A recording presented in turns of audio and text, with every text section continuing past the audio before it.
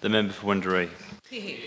Thank you very much, Acting Speaker. I stand to support the Workplace Safety Legislation Amendments, Workplace Manslaughter and Other Matters Bill 2019, and I am so honoured to do so. The introduction of this bill delivers an, on the Andrews Labor government election commitment to introduce new workplace manslaughter laws in the Occupational Health and Safety Act 2004, the OHS Act. This is a piece of legislation that is very close to my heart and to a great number of members of the Ballarat community following numerous workplace deaths in our community. The introductions of these new offences will be a strong deterrent and will hold those with power and resources accountable for workplace safety. As a former union official in the steel and printing industries, I know these laws will save lives and make workplaces safer. I really want to thank sincerely the Premier, the Minister for Workplace Safety, for the introduction of this bill and the Parliamentary Secretary who just spoke for Workplace Safety for chairing the Implementation Task Force, which has included business, unions and victims' families to consult on the details of the proposed laws. The Premier, the Minister and the Parliamentary Secretary's hands-on approach to the establishment of workplace manslaughter laws is a strong display of Labor's commitments to Victorian workers. I'd also like to wish to acknowledge everyone who's been involved in the process of developing this groundbreaking legislation, especially the families who have suffered the death of a loved one at work, as well as the union movement for their advocacy and campaigning. Over the last year and a I have had the opportunity to spend time and get to know Lana Cormie and Dave and Janine Brownlee. They are extraordinary, brave advocates on a crusade to make sure that no one has to experience what they have the workplace death of a husband and a child. I wish to thank them for the important contribution they have made to the Workplace Manslaughter Implementation Task Force and the work they've done to raise awareness in our community. I am pleased that this bill will provide an ongoing role for people impacted by workplace deaths um, or serious injury or illness to engage with the Minister for Workplace Safety. The lived experience and the perspectives of victims, family members and friends, as well as the experiences of co-workers, are voices we need to hear to ensure that we address and transform attitudes and behaviours at workplaces across Victoria. I would also like to acknowledge the role of the Ballarat Trades Hall Council and Secretary Brett Edgington for the role they've played in advocating for workplace manslaughter laws and the work they do in supporting families and the Ballarat community impacted by workplace deaths. I strongly believe that the work you do should never come at a personal cost to your physical and mental health and well-being. But for too many in this community and our state, it has. In the last three years in Victoria, there have been 70 workplace fatalities. You know and I know that these are there are real people behind these numbers. Young workers, experienced workers, men and women, farmers, tradies, hard-working people who go to work every day to provide a better standard of living for themselves and their families. Sadly, most of these deaths have occurred in regional Victoria, including my home of Ballarat. In September, I was saddened to hear of the workplace death of a 56-year-old man at a residential building site at Mount Pleasant. And again, just two weeks ago, during our last sitting week, in my electorate, a 50-year-old man was killed in an industrial accident in Delacombe after being trapped in a machine while it was working. I wish to pass on my deepest sympathies to the families and friends of these workers.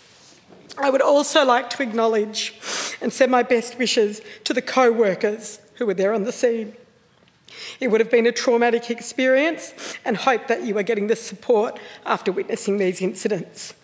We are introducing this legislation to include, include improve workplace safety and to save lives. These statistics are real people's whose lives have been tragically cut short because of a preventable incident. One year ago, I stood with Lana Cormie, Dave and Janine Brownlee, and Janine's mum, Val Cody, on pre-poll in the lead up to the state election campaign as they shared their heartbreaking story. With pictures of Charlie and Jack and a letter written by Lana, they asked the community to vote to make workplaces safer. So no one else would have to go through what they did. Since then, there has been the first anniversary of the incident. There have been many birthdays, Christmas, tough days, less tough days, and really tough days. Life has gone on, but it has been forever changed for Lana and the Hawkins and the Brownlees. Their deaths and the deaths of so many others have ripped the heart out of families, friends, colleagues, and communities. I've previously spoken in this place about the devastating Delacombe Trench disaster in my inaugural speech and on the first anniversary earlier this year. I would like to take this opportunity again to share what happened to Charlie and Jack and what caused their deaths of two good men who had their whole lives ahead of them. Jack Brownlee was 21 and Charlie Hawkins was 34 on the morning of Wednesday, the 21st of March, when the disaster occurred in Delacombe. Charlie was buried by tons of loose earth and was killed instantly. Emergency services fought for several hours to free Jack.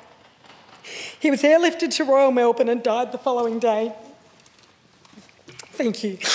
Two families, formerly strangers, are now forever united by their shared experience of having their lives shattered and their hearts broken on that tragic Wednesday.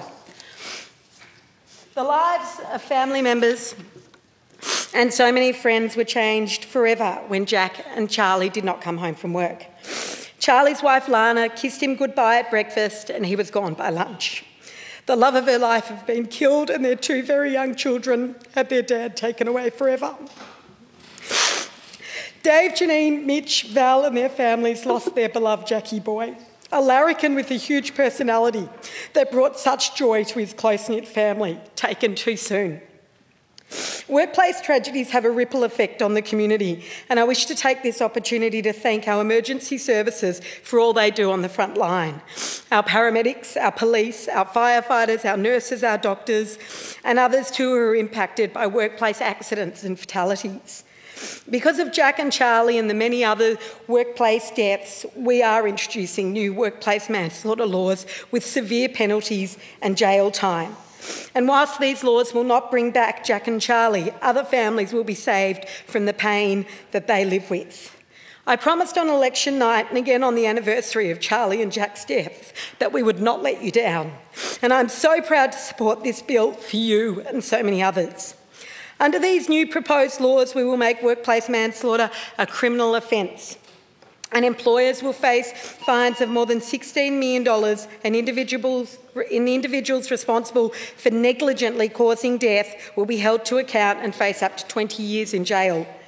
The penalties must be strong enough deterrents to make employers take workplace seriously and not rely on deep pockets to avoid accountability while cutting corners on safety. The new workplace manslaughter laws will send a clear message to employers and the community that putting people's lives at risk in the workplace will not be tolerated. Making workplace manslaughter a criminal offence will be a strong deterrent to rogue operators and dodgy employees and will, and will hold those with power and resources accountable. The Andrews Labor governments want to ensure that all Victorians are safe in their workplace, and I ask all members of this place and the Parliament to support this important legislation.